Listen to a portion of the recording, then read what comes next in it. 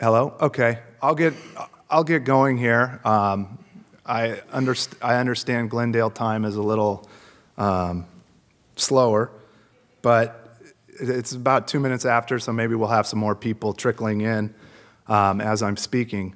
But again, I'm Mark MacDonald. I'm uh, Glendale College's lobbyist up in Sacramento. Um, thank you, thank you. Appreciate the applause. Um, you know, we're, we've been working diligently on legislation and a lot of budget issues, obviously, this year. Um, I'll be presenting a budget and legislative update tonight at the board meeting. Um, today, I was asked to give kind of a brief, more general overview of the legislative process, the budget process, how those two processes impact the college, and then a brief overview on redistricting and what I feel are, will be the outcomes of redistricting, if any, um, and how it'll work, and just real briefly how it'll impact this region. Um, I'm going to stop periodically throughout the presentation. I'll stop after budget process and after community colleges and the legislature to answer questions. There's a microphone up here that um, Andra can, can walk around if you have a question so that they can hear you. I understand this is being recorded. Um, and then obviously at the end, after I talk a, a briefly about redistricting, we can open it up to questions on any topic. Um, so first off, the legislative process, the, the basics. You have, we're a bicameral system. We have two houses. We have an assembly, which has 80 members, and a Senate, which has 40 members. Um, the assembly members are elected for two years each. Um, senators are elected uh, for four years each. Assembly members have three terms of two years that they can serve. Senators have two terms of four years that they can serve. Um, each legislative cycle is basically the life of a legislature, of an assembly member's term. So we have two year cycles, legislative cycles, and at the end of that year, the second year is always an even year. It culminates with an election. So we're in the first year of the two year legislative cycle right now. It'll end at the end of 2012 with the election in the fall. The new members will come in in 2013, and we'll start a new um, legislative calendar. So every year, politicians in Sacramento are very busy. Every year, there are about 2,500 different measures that are introduced. Um, these can be regular bills, assembly bills, or Senate bills. There's about, I'd say, twice as many assembly bills as there are Senate bills, just because there are twice as many assembly members as there are senators. Um, but you also get into these extraordinary sessions which run parallel to the regular session. And these have been common the last couple years. Anytime the state declares a fiscal emergency, we go into what's called an extraordinary session. And so we get all kinds of bills that are introduced in the extraordinary sessions. Um, these are the same exact, they hold the same exact, um, they're the same exact type of laws as in regular assembly bills and in regular Senate bills. They just happen to be moving through the extraordinary session, which tends to run on a faster track. There's also um, resolutions that are introduced in both houses. Now, these do not have the force of law. The governor doesn't have the authority to sign or veto these. These are just legislative intent. So, um, bills that you likely wouldn't get the governor's signature on maybe run as resolutions that say it is the legislature's intent that, you know, California maximize green products to the greatest extent possible. Doesn't hold the force of law, but it gives a brief uh, generalization of what the legislature at that time um, has as an intention for California's policy direction. And then finally, you get constitutional amendments. Now, all of these things, except for constitutional amendments, are passed on a majority vote. constitutional amendments, ACA, Assembly Constitutional Amendment, or SCA, Senate Constitutional Amendment, need a two thirds vote of both houses of the legislature. They need the governor's signature, and then they go out to the ballot, and that's what you vote on. So, a couple years ago, there was a spending cap that was put on the ballot. That was a constitutional amendment that was a part of the budget process. Um, the governor's proposed to extend the current tax rates. He's put that in a constitutional amendment that would require two thirds vote, and then you would vote on it, assuming it went out um, to the ballot. So, where do these bills come from? There's basically three places that they come from internally, the legislator's office, um, from constituents, or from lobbyists. I'd say the vast majority of bills come from lobbyists of some sort. Internal, where do those come from? It could be a personal issue that the member has. It could be a past unresolved issue. It, you'll notice, well, I, every year there are staff members in legislators' office that go through all the bills from the previous years that have been vetoed or died, and they look for what they consider good bills or issues that their member would be interested in in order to reintroduce those. We've had a bill relating to community colleges that would allow community college. Community colleges currently can't go into state um, correctional facilities to offer courses to inmates. Um, Senator Cox up from Sacramento introduced the bill probably six years ago. Senator, then Senator Scott, now Chancellor Jack Scott, did the bill uh, three years ago before he was senator, and now Assemblyman Sandre Swanson out of Oakland has been running the bill for the last two years. So that's just an internal issue that legislators have talked about and has continued to come up and come up and come up. The issue on that one, by the way, has been the cost associated with it. Or staff members will bring issues to the, to the legislator. Um, constituents. A member might get a letter um, they might be at a, an event in their local community and they might speak with one of their constituents who brings up an issue and they say, hey, that sounds like a good, good idea. They'll have one of their staff members investigate it. It can be introduced as a law. Um, what a lot of members are doing now are what they call there ought to be a law contests, and they'll have their constituents email them or write in with proposed bill ideas. There ought to be a law to do this. Um, Senator Simitian, the hands free cell phone bill, that was a There Ought to Be a Law contest out of uh, Senator Simitian, who's up uh, near San Mateo, out of his district. There ought not be a law, or is a new kind of contest that's gaining some popularity, um, which is when a member asks his or her constituents what forms of regulation or what laws are getting in the way that, that just don't make sense and ought to be repealed. So sometimes those are introduced as well. So then the final group, and what I said was the most common group, and the San Jose Mercury News actually ran a series of articles on this for those of you that are interested on where bills come from and found that the majority of the bills come from lobbyists, brought to, to lobbyists um, of course, by their clients. So I wouldn't say that the majority of the bills come from lobbyists, but rather the majority of the bills come from um, interests that have hired lobbyists, like community colleges, like if Glendale College had, there was a law that wasn't working for Glendale College, or um, there was a particular issue that Glendale College had, they would bring that to me, to McCallum Group. We'd go, we'd find an author for the bill, and then that author would run the bill. So, what's the process? Um, again, general concept. A bill gets introduced, it's assigned to a policy committee. There are probably 20 policy committees in each house that oversee a particular policy area. So you have education. In the assembly, you have an education committee and a higher education committee. The Senate's smaller, so they have just an education committee that deals with all higher ed and um, K 12 issues. Um, you have a local government committee. You have a transportation committee. You have a sports, tourism, and internet committee. All different sorts of uh, committees, actually. And then the bill has to go through the policy committee, and then if it is scored with any sort of cost, it goes through a fiscal committee, which is called an appropriations committee. If it gets through its first house, we have a bicameral system, like I said, where you have two houses. Then it moves to the second house, where again it goes through another policy committee and it goes through another fiscal committee. Now, somebody asked me, why, why do we have a bicameral system?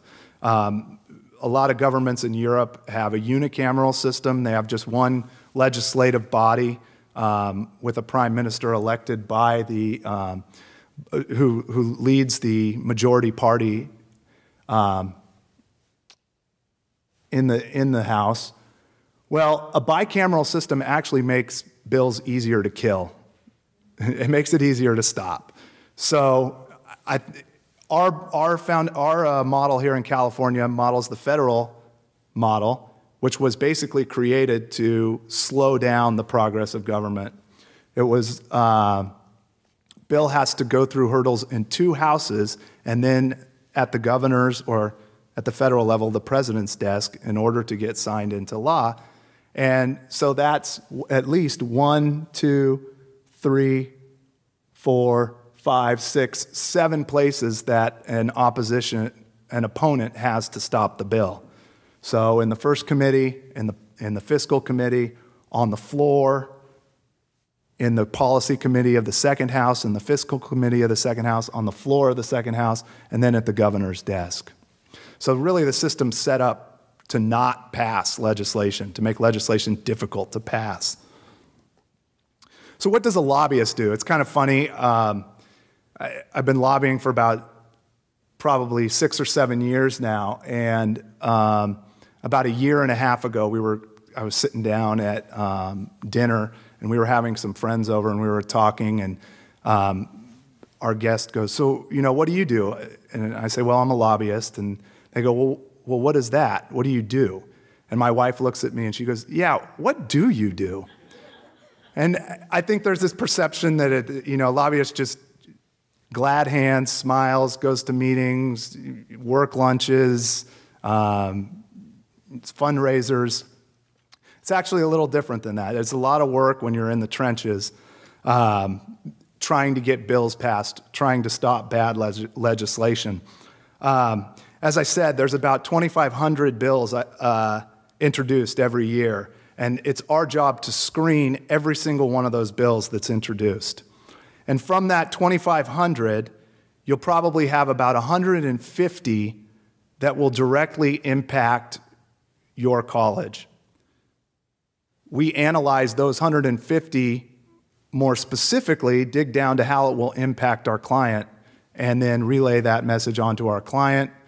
Client makes the decision of which direction they'd like us to proceed. Um, and then it's our job to make sure that bill either moves through the legislature or dies. Also, with these 2,500 bills that are introduced, there are daily amendments. So we get a, we get a list of amendments that come in every day, and there's deadlines throughout the year as to when you can amend a bill. And you, as you can imagine, when you're turning in your homework, if you're a student, you usually wait till the last minute. Um, receiving homework, for those of you who are faculty in here, you know, you usually don't get assignments early. Um, the same is the case for legislators. You have a deadline when you can amend bills, when you can introduce bills. That's when all the amendments occur. So you could have hundreds of bills being amended in one day. Um, and I've at points sat in front of a computer, scrolled down reading these. I looked away from the computer and there was still a white box with black words going down it. And I thought maybe I needed a little break then. Um, so we monitor all those amendments. Um, at the end of the year, um, you've probably gone through close to 200, 250 bills that have been amended and possibly could impact the college in some way. Um, and again, as I said earlier, we provide detailed analysis to our clients on how the bills will impact the college. And that's a two way street. We also get feedback um, on how the bills would impact the college because you on the ground know best um, about how a certain policy is going to directly impact your college's workings. Um, the other things we do, if you have a sponsored bill um, it's our job to find an author for that bill um, which can be incredibly difficult. Actually, I think that's probably the most difficult thing we do. Um, that, that entails putting together a detailed analysis, both policy and political. You want to find out who the players are, who would oppose the bill, who's going to support the bill, any potential costs to the bill. Um, you want to identify a good author, preferably an author who is chair of the policy committee that the bill will go through. If not that, that person sits on the committee that the bill will go through. And then it's our job to shepherd the legislation through the legislature. Um, each committee has two consultants, at least. There's a Democratic consultant that provides a, an analysis specifically to Democratic members, but since Democrats control, control both houses, that's also the public analysis. But then the Republican caucus also has an analyst who provides an analysis for his or her members. So it's our job to meet with those people prior to the bill being heard in the committee so that we can provide them our detailed analysis on how we feel the bill would, would have, um, you know, would, would impact our clients. Um, usually, the analysts go with our analysis. At times, they do not, um, uh, which is difficult. But then you have to, you know, you get into a back and forth debate. Um, and it's our job to convince them that we're right and that you're right. Um, we provide written and verbal input on bills um, and policy proposals. So after we get the analysis done, we go to each member of the committee to discuss the, the policy with them um, and try to convince them to vote in the, in the way that we would like. Um, we provide testimony, so we're standing up in front of the committee. And a committee, I always describe, people ask, well, what's a committee hearing like? I say, I'm going to go into a committee hearing. A committee hearing's like being in court with less rules. Um, the irony is, is that there's, there's less rules in the making of the law, I think, than there is in, in, the interpreting of the laws, which would be in a court of law. But usually there's a, there's a bench. Um, there's probably six to 15 members of the committee sitting in front of you with the chair. Um, each person provides testimony. Um, there's an opportunity for all the members to ask a question, and then a vote's taken. Um, and your bill either gets out or it doesn't. Um, the other thing we do is we provide government relations and provide uh, requests for information. So we're essentially um, Glendale College's constant presence in Sacramento. So when Mike Gatto or Anthony Portantino or Carol Liu have a question about how something will impact Glendale College, um, they call. They call over to us. If there's um, a bill that's up in a committee before them, they'll call and, and get Glendale's position on it. Um, it could be an informal analysis of how it would impact the college because the college doesn't take a position on all 150 bills uh, that impact them. Um, they'll take a, a position on maybe 30 to 50 of those bills. We also provide um, strategic advice and messaging. So if um, oftentimes, members of your college will come up to Sacramento and do legislative visits. We'll arrange those visits. We'll provide talking points, targeted, focused issues um, that are relevant at the time. Over the last year, you had a, a government relations group come up to Sacramento and, and met with a number of legislators, and you had two student, student groups that came up to Sacramento and lobbied on behalf of the college. And um, we provided appointments and, and talking points and um, strategic messaging um, for those visits. So, the budget process, this is what you've been hearing the, the most about lately. Um, and to be quite honest, it's kind of a convoluted process. Um, it takes a different shape every year, it seems like. And this year has been maybe the most unique shape that I've ever seen. You have a new law in place where members can't get paid if they don't pass a balanced budget, which the controller has just said they haven't done, so they're not getting paid. Um, you have a new governor who's trying to push for an election to increase taxes that requires a two thirds vote, after we just had a ballot measure passed that allows the legislature to pass a budget for the first time with a majority vote. But they can't increase taxes. So it's been, you know, it's been quite the uh, soap opera up in Sacramento. But this is the way it's supposed to work. You're supposed to have two separate tracks, a budget track and a legislative track. Your legislative track is just what I talked about. Your budget track, you have your committee hearings, you go to a conference committee where you iron out your differences, you go to your floor votes, and then it goes to the governor to be signed or vetoed. And the budget process is only supposed to deal with money and how it's allocated.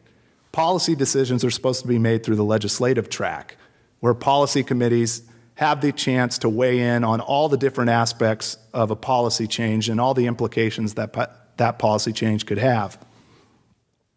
Well, this is how it really works for a number of reasons. Number one is, as we all know, money drives policy. And number two is, lately, Republican legislators, the only voice that they've had has been in the budget process because of the two thirds requirement. So, consequently, your policy decisions and the decisions that your policy committees are supposed to be making have been pulled into the budget process.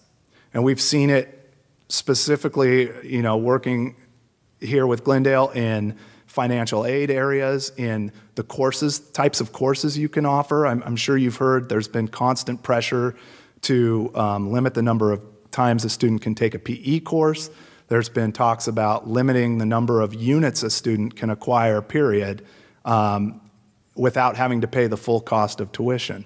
Um, all these policy decisions are being pulled into the budget process right now um, for those two reasons because we're, we're so short on money and um, we've been seeking a two thirds vote on the budget, and that's where the Republicans can really make policy plays, is in the budget process.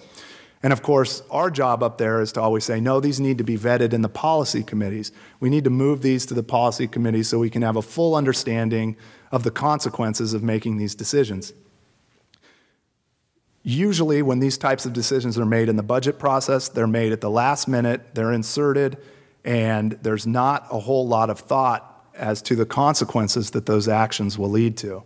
And we end up coming back and revisiting them um, continually. We're doing, we're doing that right now with, with a decision that was made on financial aid in the budget process. Um, so, a quick overview of the budget process. Just like policy committees have their own special areas, you have budget committees that they have their own special areas. You have a Senate Education Budget Committee and an Assembly Education Budget Committee that are separate from the Education Policy Committees. So, to start off the process, the governor introduces his budget or her budget, and the policy committees hear the various proposals within their policy um, jurisdiction. So, the Education Committee will meet in the Assembly, the Education Committee and the Senate will meet, and they'll craft a general outline of the budget. Those won't always be the same.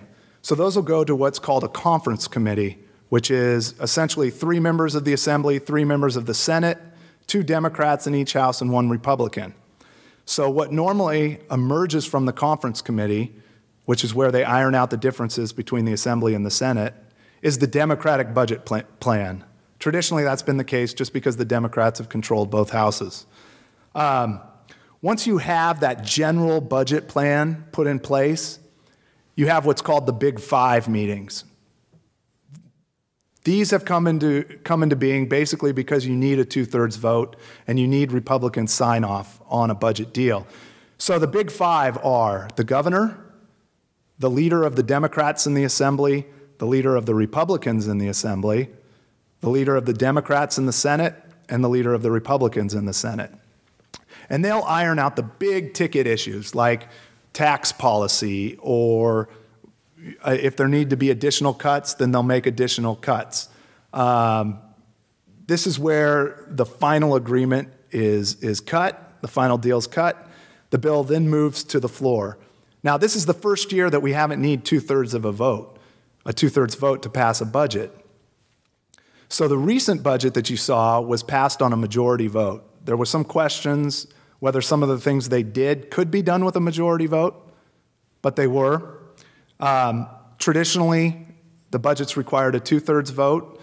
That's why you've seen these all-night sessions. There was, I can't remember if it was last year or two years ago, these budget sessions seem to run all together now, but a budget bill was literally passed at like 5 o'clock in the morning. So they had gone into, they'd gone in at 9 o'clock the day before, 9 a.m. They'd worked all day. They passed a budget at 5 a.m. the next morning. Needless to say, that's where we get into those issues where last minute decisions are made that aren't totally thought out. Um, so then that goes to the governor. Governor can sign or veto it. For the first time in known history, the governor vetoed the budget this year. Um, if the governor vetoes the budget, it can go back to the legislature to be overturned, but that requires a two thirds vote. So I'll stop there real quick to see if there are any questions um, on anything that I've gone over so far. You mentioned that the um, it, when the budget was passed, this last one, that they included some things in there that you didn't think were totally kosher, and I assume you're referring to some of the tax increases. What were the, what was the argument that they could pass the tax increases with uh, simply a majority? The way that they did it was a complicated, um, what they called, what they did before was they did what was called a triple flip, and it's a complicated mechanism where they shifted a local sales tax to the to the state they backfilled the local sales tax, um, or they backfilled funding that came from the state with the local sales tax, um, and in order to score savings on the budget. Well, what they did this year was called a double flip, was essentially undoing that.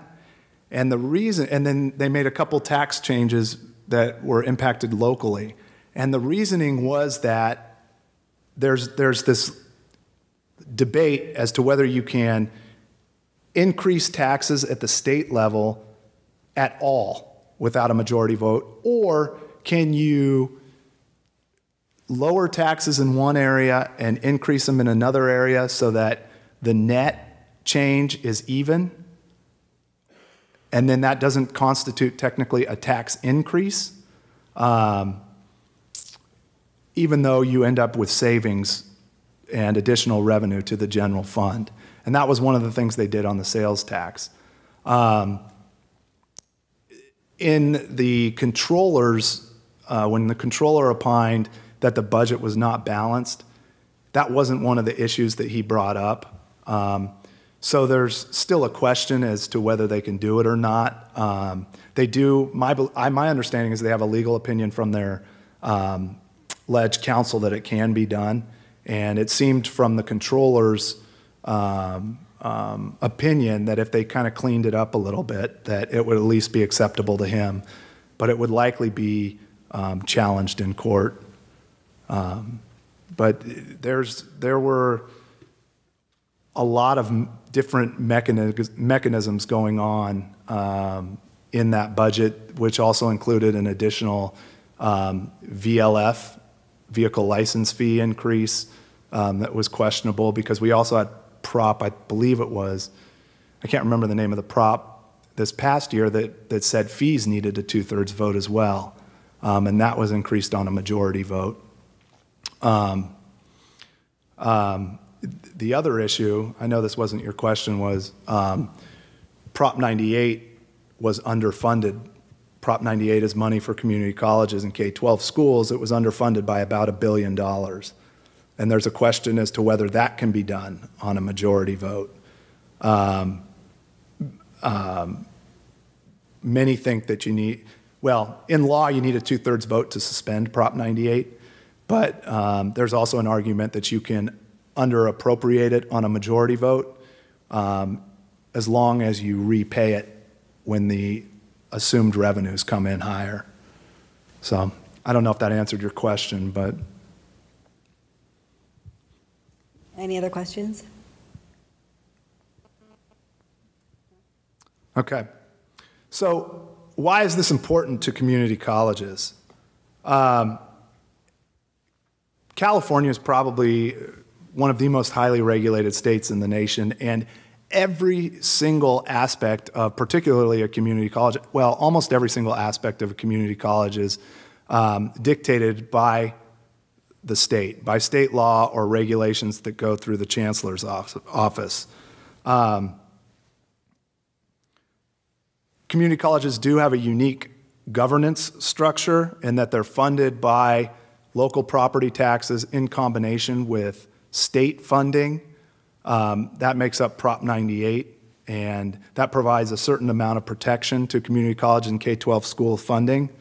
Um, but the majority of the funding comes from the state, since Prop 13 has really shifted the funding of local entities to the state. And with money comes essentially power. And so if the state's allocating the money, um, they feel, they being the legislatures and um, the governor, believe that they ought to be able to dictate how that money is spent. And for community colleges, it kind of presents a weird dichotomy because we're, we're also governed by locally elected officials, which is your board. You'll have a board meeting tonight. Um, they are charged with managing the daily workings, well, not the daily, but they're charged with managing the broad policy of the district. And back before Prop 13, they also controlled a lot of the purse strings um, through local property taxes. Um, so your local community really paid for all the workings of the college. But after Prop 13, you have funding coming from the state. You've got increased regulations coming from the state because of the increased funding. And so a lot of the decisions that your local board makes, their hands are really tied. Just to give you an example, with declining funds at the, at the state level, there was a the legislature put intent language in the last budget that local districts were to prioritize transfer, career tech, and basic skills programs. This was a compromise from, you know, the LAO, which is a different entity. Basically, the LAO is the legislature's um, budget analyst. Um, the LAO recommended that PE classes be cut um, and recommended putting a cap on PE courses. Well, the compromise language that we were able to get was this intent language to have local boards prioritize these other courses, and then you'd be able to use your PE courses or your dance courses, what they call enrichment courses, um, based on the population you're serving.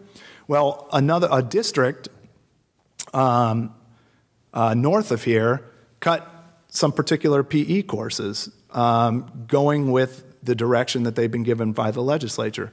Well, two of those board members were subsequently voted off the board because the local community was upset that these specific courses that they used um, were cut. So I, I don't envy local trustees. They have a very difficult job. They're um, tasked with responding to their community needs, but at the same time, their hands are really tied and becoming more tied these days with the dwindling resources um, coming from the state. So the state oversees the budget of the community colleges and the working operations. And the budget process supports the, the college's funding levels. It supports your general apportionments, how many courses you're going to offer. Um, it also supports your categorical programs, um, your student success programs. Um, the last couple years, the debate has been where are the cuts going to come? Are they going to come from general apportionments? Are they going to come from categorical programs? You know, five years ago, we were saying, well, where are we going to put the money? Are we going to put it into general fund growth so that we can add more students? Are we going to put it into categorical programs so that we can improve student success? Um, and that all changed. And all changed very quickly. And, and we've gotten into this defensive mode where we've been trying to save programs. Two years ago, just so you know, some of your categorical programs, which are like your um, financial aid, your EOP&S programs, uh, your disabled students programs, um, your matriculation programs, um, programs that are out there to help help students succeed. Some of them were cut as much as 50 percent. And so you know at the state level, at, while those courses are being cut by 50 percent, we're hearing from the legislators, legislators, Well, why, why aren't all your students graduating? Why, why don't we have students you know, moving through? Why do you have students dropping out? Why can't students complete courses? Why aren't you assessing every single student that comes to your campus? And, and so there's, I think, a real disconnect between what's being allocated to accomplish certain goals that are being set and, and the setting of those goals. I mean, we have a bill that's being introduced this year to set up an accountability framework for all of higher education. And we're looking at it, and it's not a bad bill, but in the context of the budget, you're looking at it with a community college. Okay, um, what type of accountability do we, do we want? Are we going to deny, you know, 50,000 students classes, or are we going to deny 100,000 students classes? It's, there's a real disconnect there, I think. Um, one of the other things that's determined through the budget is flexibility. The last couple years, because these um, student success program, categorical programs have been cut, um, the legislature authorized some flexibility to move funds within the categorical programs, but what we found, the reality is, is that colleges are taking a lot of their general funds and, and backfilling the categorical programs um, to increase student success and help students. Um, legislation, anything can be legislated, anything. So, I'm sorry, let me take a step back. Also determined in the budget process is the fees, how high your fee levels are. Um, it, it was 20, went up to 26. Current proposal is 36, probably stay there. Unless there's additional cuts, it could go as high as 40, but I doubt that at this point um, because of the protections of Prop 98 that I mentioned earlier. I, I doubt that we'll get to 40. Um, legislation, that's all your working operations. Um, how much students can be charged for health care, for your health fee is determined through legislation. Um, transportation fees, um, contracting requirements, who the college can contract with and how they have to do it in order to build a facility. Um, how the college can contract um, to purchase seats for this auditorium. Um, assessment and transfer, uh, how colleges assess students, whether colleges have to assess all students. Um, transfer bill last year, AB 1440, one of the you know, more uh, prominent bills that went through the legislature last year, requires all CSUs to take students who complete the requirements laid out in that bill um, and not make students take additional units. That all goes through the legislative process. Um, that's, you start out with 2,500 different ideas and you get down to about 100, and then maybe, if you're lucky, 30 to 50 of those are signed. So, any questions on that specifically? Um, community college operations, how the legislature impacts, how the legislature makes those decisions, and so the, the intent language, what's the force of the intent language? What if we thumb our nose at the intent language of the legislature? What happens? There's no, there's nothing they can do, but what has been a consequence is the chancellor, annually the, the colleges report their course offerings to the chancellor's office, and the budget committees ask for that data from the chancellor's office. So they're sitting up there at their podium making their decision. Um, and while term limits has eliminated some of the institutional knowledge, uh, since that intent language was just a couple years ago, most of those members are still there. And they're looking and they're saying, hey, you didn't reduce your course offerings. We see PE growing over here. You're cutting basic skills over here. The consequence is that you'll get more strict, well, you get stricter language the next year that'll say you cannot offer more than X number of units of PE. Students cannot take you know, cannot repeat a PE or a dance or a ceramics course more than twice. Um, so the intent language doesn't hold any consequence. It's more like a warning uh, to districts that, hey, we have limited resources. This is what we'd like you to prioritize. If you don't, we're going to do something worse. I think you had a question up here.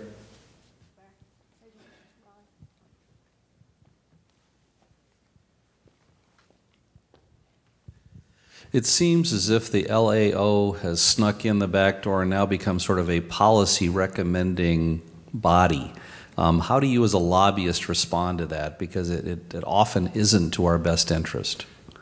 Yeah, that's a good question. Traditionally, the LAO has been a fiscal um, entity. The Legislative Analyst's Office is, a, is an independent, nonpartisan. I said earlier that committees have Democratic consultants and Republican consultants, where the LAO is considered the Legislative Analyst's Office. It's nonpartisan. It looks at things um, from what's supposed to be an objective perspective and gives recommendations normally on the budget. And they've normally talked about fiscal policy. Um, and, you know, just so you know, they've recommended for the last three years that the legislature increase taxes. They've said every time that the budget cannot be solved through cuts alone. Um, so, what they have done, and go, if you look, take a look at my earlier slide, we've seen that I said that policy has gotten injected into the budget process. And the LAO has been one of those entities that has been making recommendations on policy. And actually, it's very difficult to intervene um, when the LAO comes up with certain recommendations because the way the process is structured is in the conference committee. When we get to that process in the conference committee, in the subcommittees, we're allowed to go up and testify. When you get to the conference committee, there's no public testimony. It's essentially the LAO and the Department of Finance that are up in front of the committee, and they're the ones that answer the question. And traditionally, well, I'd say the last three years, we've had um, an LAO member who has thrown out compromises, thrown out policy proposals kind of at the last minute that haven't been in the best interest of, um, we, we believe, our students. Um, and for example, doing something like performance-based funding for basic skills, where if a student doesn't complete, then the, then the college doesn't receive the funding for that student. Um, you need to intervene early, and the only way you can do that is by meeting with the members of the committee, and you kind of get a sense of which direction the LAO is going to go. Um, and what you can do is you meet with the committee chair, and then the committee, the conference committee, has the individual consultants, Democratic and Republican, from their specialized committees sitting with them. So you're able to meet with them and provide counter arguments to what the LAO has recommended. And um, to be, you can also meet with the LAO, and sometimes they'll give you a heads up. Quite frankly, we met earlier this year um, with their staff, and they said, um, you know, hey, we're going to do this. And it turns out that the legislature bypassed the conference committee this year, so they didn't have an opportunity to throw this out last minute, which was good. Um, and um, so it wasn't considered. But um, yeah, the last couple years, um, the LAO has thrown out issues that really have would hurt community colleges, and they're kind of along the same lines. They're, they're always attacking PE, they're always attacking enrichment. And, and so you can kind of anticipate the direction they're going to go, and you really have to get in early and get in often. Any more questions? Anyone else? Okay. Well, I'm going to kind of sh- shift gears here real quick and talk briefly about redistricting, which was a recent proposition that was passed um, in 2008, Proposition 11. And this kind of gives you an idea of, of California politics. You have a major, major, major political change that's, that's being undertaken right now, and it passed by less than 1% of the vote. So it was 50.8 voting yes, 49.2 voting no. And it has major political and policy implications on it. And it changes the way Senate and Assembly uh, districts are drawn. So the past practice was the legislature drew the districts, and obviously there's concern about that um, from some good government groups because the legislature was essentially drawing their own districts. Um, in the past, we had very, very few um, incumbents not elected. Um, and the last time we really had competitive districts was um, in the 90s, because in 1990, the legislature was controlled by Democrats The governor was a Republican, and they couldn't come to an agreement. Redistricting, basically, a redistricting package is like a bill. It has to pass through both, house, both houses and be signed by the governor. So it was thrown to the courts, and the courts drew the, drew the districts. In 2000, um, Democrats had the governor's seat, Democrats controlled both houses, and they essentially cut what was a bipartisan deal to protect incumbents. Um, and subsequently, during uh, the 2000s, I think there was, I think there were maybe two seats that changed parties. One was down near Baker, Bakersfield, um, went back and forth, Democrat, Republican. Um, but essentially, you've had the same parties in these same districts um, every year in and year out. The current process so you started with 20, 60 initial applicants. The speaker and the president pro tem, who's the leader of the speaker's the leader of the assembly, pro tem's the leader of the senate, could throw out 24 for whatever reason. So you had 36 left, and eight were randomly selected: three Democrats, three Republicans, and two nonpartisan, or I'm sorry, not nonpartisan, declined to state or other minor party.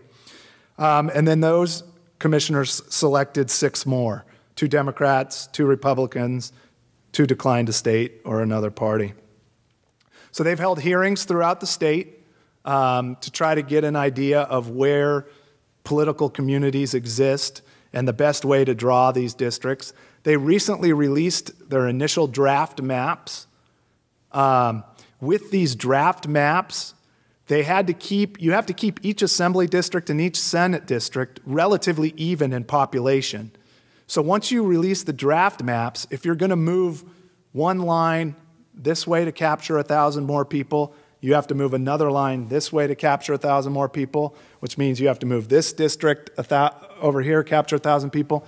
So when they first released these maps, there was high anticipation because it gives you a general idea of where areas will be, because it'll be very difficult to do a large overhaul of, of the districts. They heard comments on the maps. They're hearing it now. There have been some complaints regarding the Voter Rights Act. I'll get into that in a little bit. They'll release a second set of maps. They just announced they're going to push that back um, in mid July. And then they'll have their final maps August 15th. They can't take into account party affiliation, they can't take into account where incumbents live, both of which were basically the driving force of, of past map making. Um, they've kept cities rel- relatively intact. Um, the previous maps, I believe it was Fresno, was actually spliced into three. And so there were three different representatives that represented Fresno. This commission has relatively kept cities relatively whole. The initial analysis says that the maps have done what they their their intended purpose. Um, in the assembly, nine, there were essentially nine competitive seats. The initial analysis is there would be 16. And this is competitive, meaning within 5% re- lead by Republicans or within 10% lead by Democrats, because Democrats tend to cross party lines more often. The Senate competitive seats have increased from three to nine. Um, just to give you an example, this is the new, um, this would be um, your assemblyman's new district, Mike Gatto. And essentially, the way the district would be drawn is he would not be your member anymore. So Glendale's right about here, and the current um, district for Mike Gatto runs kind of here and up north, further north, and comes down. Now it would come down here and grab part of East LA. Glendale would be not a part of his district. And as you can see, Glendale's actually, college is actually in a district that doesn't have an incumbent living in it. So you're kind of between where Mike Gatto might run and then Anthony Portantino is up here in this other district. Glendale would be in this district with Burbank, and there's no incumbent living in there right now. Anthony Portantino has indicated he's going to run for Congress. Um, it doesn't preclude uh, Mike Gatto from moving to run in this district. You'll see down here that you have, maybe you can see it better on the next slide. Yeah. So this is Mike Gatto's district. Glendale's here. You see here, they drew a district that has Mike Davis, uh, Holly Mitchell, The Speaker, John Perez, and Gil Cedillo, all in the same district. So one of them's going to have to move. Gil Cedillo terms out, uh, Mike Davis terms out, Holly Mitchell, uh, John Perez probably won't be the one moving, I would imagine. Um, so Holly Mitchell will have to move. But there'll be some shakeups. The pro tem, the Senate pro tem, Darrell Steinberg, was put in the same district as Lois Wolk. Um, and the other interesting thing for the Senate, Senate elections are every um, four years. So you're, you run for election every two years in the Assembly, but in the Senate, you run for the election every four years. And it's based on the number of your district. So even numbered districts run one year, and then two years later, all odd numbered districts run.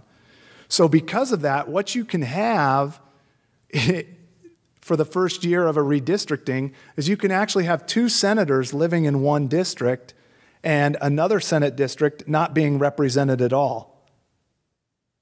Simply because the one senator living in the district, their, their election, they're not scheduled to be reelected. The other senator is scheduled to be elected. They win reelection. So all of a sudden you have two senators representing one area, no senators representing another. So, what are the issues facing the uh, redistricting commission? The first is the California Voter Rights Act.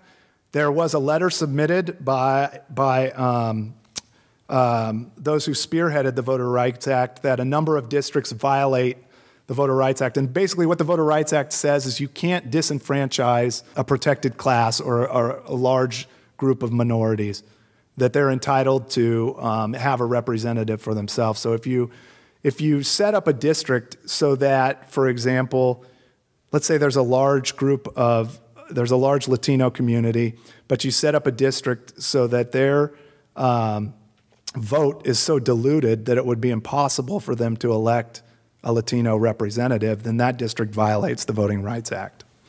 Um, so the early analysis, they indicate that there's 14 Senate districts and 24 assembly seats that may need to be changed. Most of those are in the LA area. So there will be a shakeup in the, in the next set of maps that come out, um, particularly in this area, probably to try to conform to, to the Voter Rights Act. The stated goal, as I indicated earlier, was to make co more competitive elections. Prop 11, the redistricting, along with another Proposition 14, the top two primary which means that you don't automatically get a Republican and a Democrat running in the general election. But if two Democrats finish the top two in the primary, then those two are going to square off in the general election. So those two changes were meant to get more moderate members elected um, with the hope that they would also be um, less beholden to special, special interests, either on the far right or the far left. That would be labor groups on the left and um, you, corporate interests on the right. So, will it work? As I indicated earlier, the initial assessment is that there will be more competitive districts. Um, whether that means that there'll be a, a, greater moderate block is yet to be seen. There's still a large number of districts. It's hard to draw a competitive district, for example, let's say in San Francisco. You're just not going to get a Republican out of San Francisco. It's still going to be a very liberal voting block. You go to Orange County, you're not going to get, it's very unlikely you're going to get a competitive Democrat. Still going to be a very conservative Republican. Um, but there is a potential to have a, a, large moderate voting bloc that could potentially swing, swing issues one way or the other. And this is my personal opinion here, coming from Mark MacDonald. I think there's still bigger issues that have led to California's dysfunction than district redistricting and um, the primary election system. Number one is we have a backwards constitutional and statutory relationship. And what I mean by that is you look at the federal level, it's very, very hard to change the Constitution. It's very difficult. And the Constitution's rarely been changed. They're broad, broad, broad general ideas um, that guide specific legislation that's passed on a majority vote. generally speaking, at the federal level. On the other hand, in California, it's relatively easy to change the Constitution. All you need is some money and the will. So you can throw anything on the ballot. If you, if you have enough money, you can get enough signatures to get it on. And all you need is 50% plus one of the electorate to vote for it. And you've changed the Constitution. On the other hand, if you want to get taxes passed or until last year, just our annual budget, you had to get two thirds vote out of the legislature, which is a daunting task. So, for things that are supposed to last a long period of time and, and be these overarching general principles, they're relatively easy to change in California. Whereas things that should change, I believe, annually and ought to change based on the generations and those in power are relatively difficult to change because you need this supermajority vote. The other issue is term limits. Um, term limits has taken away the um, uh, institutional memory of the legislature, and instead of what it was intended to do was have citizen legislators that would then return to their um, homes after they'd served their time in the legislature, like Cincinnatus. Um, you've gotten the exact opposite. You've gotten career politicians who are looking to their next job immediately upon entrance into the legislature. So you have the assembly where you have maybe three assembly members that would represent one Senate district. Their only goal is to get elected to that Senate district. So they're competing for the favor of the interest groups that are going to fund their election for that Senate rather than working on what's best policy. Um, I, I, I don't know. I think term limits is a failed experiment, and there's been a couple um, efforts to at least minimize them, and I think that would probably be a good idea. Um, Uh, that's all for my presentation. If I have any questions on anything, I'd be happy to answer. I've got a bigger one. Um, this is my perception. You can correct me. My perception is when Prop 13 passed and gutted a lot of the revenue base for California, that the reason we were able to recover as quickly as we were is the state turned to reserves and used that as a temporary fix. I don't see that there's ever been a long term solution to replacing that lost revenue. And now we're in an economic downturn. It seems to be any more critical. You're talking a lot about legislative process, but what about economic base? Where's that going to change and where's it going to come from? Yeah, I, I think that the problem that we're in right now is a result of Prop 13. It's basically Prop 13 coming home to roost, essentially. And I alluded to it at the beginning that you have shifted the funding of not only community colleges and, and K 12 schools from locals to the state, but along with that has come the regula- regulatory process of it. Um, and actually, the principal of our firm, McCallum Group, was the one who worked on the initial Prop 13 bailout. You're exactly right. It, it, for community colleges. There was a two piece, one, or actually three piece, one for local government, one for K 12, one for community colleges. Um, and he staffed the one for community colleges. But I guess to get to your question, which is where do you see the economic base coming from? Was that where do we where do we see the revenues coming in the future? Yeah, I mean, I think all economic reports that I've read indicate that you you have a long-term systemic problem on your hands, and I don't think it's our messaging in the legislature has been the answer is community colleges. The answer is education, because to be quite frank, you have a lot of jobs in this last recession that didn't just people just didn't get laid off. They didn't just lose their job. I mean, their job disappeared, like it's no longer there. And so you have people coming back to community colleges, coming back to get their education, to retrain, to upgrade their skills, to get back into the workforce, um, to work in new areas of the economy, the green economy. Um, you know, you still have a large service sector in California. Um, and, and, you know, the tragedy is that at the same time that you have this huge, huge, huge demand, you don't have the ability to fund it. And there's not a willingness um, to make the sacrifice that's needed to put the, put the resources in place so that you can provide education to these to the students and, and the economy of the future.